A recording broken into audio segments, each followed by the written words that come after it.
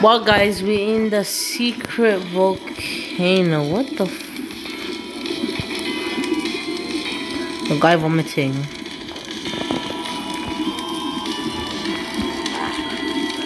That's across the bridge.